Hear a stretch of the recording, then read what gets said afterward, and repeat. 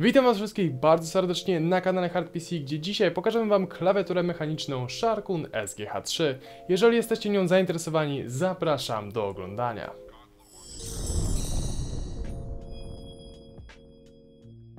Sharkun SGK3, pomyliłem się na początku, jest to już trzecia wersja jednego z najlepiej sprzedających się mechaników na rynku. Przechodząc na początku do budowy, trzeba przyznać, że różni się ona w stosunku do typowo płaskich klawiatur zrobionych niczym z jednego prostokątnego bloku metalu. Tutaj Sharkun poszedł bardziej w stronę ergonomiczną, dzięki czemu na froncie mamy chociażby duże odchylenie obudowy, co może funkcjonować jako podstawka na nadgarstki.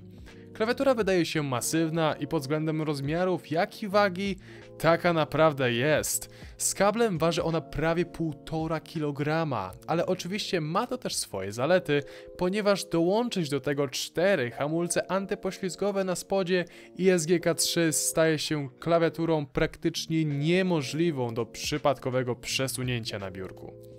Kabel USB jest pleciony. Posiada standardową długość 1,8 metra, a także pozłacany styk. Klawiatura jest pełnowymiarowa, posiada odświeżanie na poziomie 1000 Hz. Mamy tutaj także klawisze multimedialne, anti-ghosting, N-key, 6-key rollover i możliwość zamiany strzałek z klawiszami WASD. Coś, czego jeszcze nie spotkałem do tej pory, szczerze powiedziawszy.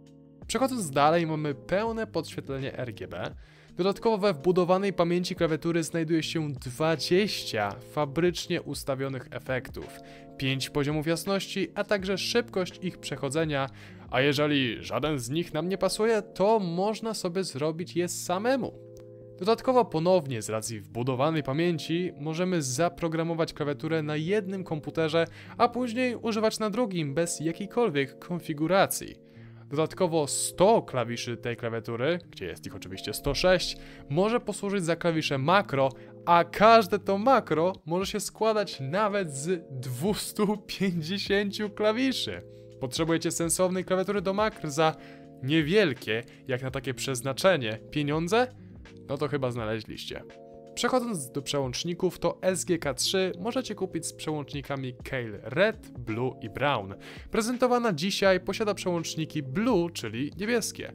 Kale na przestrzeni lat stały się już bardzo popularne, więc przyzwyczajają nas do swojego stylu klikania. Niebieskie to oczywiście przełączniki posiadające specyficzny klik, jedne z najczęściej wybieranych dla osób typowo piszących wielkie ściany tekstu, a jeżeli potrzebujemy klawiaturę typowo do gamingu, gdzie czas aktywacji jest dla nas jak najważniejszy, to tutaj bardziej skłoniłbym się do przełączników LED, czyli typu czerwonego, które mają najszybszy czas reakcji i najlżejsze przełączniki. Ponownie, jeżeli jesteście tą klawiaturą zainteresowani, a także chcielibyście ją zakupić, to oczywiście na dole w opisie macie linki do sklepu. Tymczasem ja się z wami żegnam, widzimy się przy okazji kolejnych odcinków, a także prezentacji produktów na kanale HardPC. Trzymajcie się i na razie.